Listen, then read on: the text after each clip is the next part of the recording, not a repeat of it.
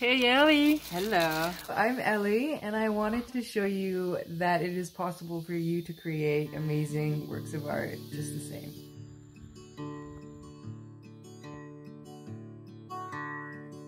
So in the back here, this is an unfinished piece. I'm finishing it this week. And so I have this form, I created a base, and then within the base I have the, the freedom to put structures inside. This is a little door, which is, uh, I had to fit it properly so it closes.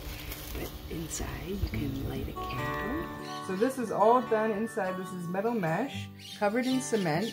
And then I'm able to form patterns and, and beautiful things with the cement, and relief work. Who are those little guys there? They're the little figurines that are creating the story of the planter. This is an example of a final layer of a figurine. So inside I formed a figure um, through metal mesh and metal wire. And I've secured it with a solid base and I cover it with the first layer of cement and then my second layer is detail work. And then I give a little sand and a paint and she's glorious.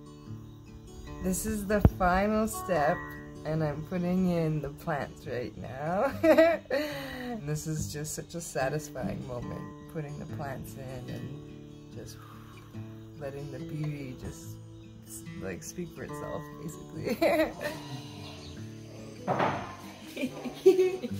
it's your dream tree.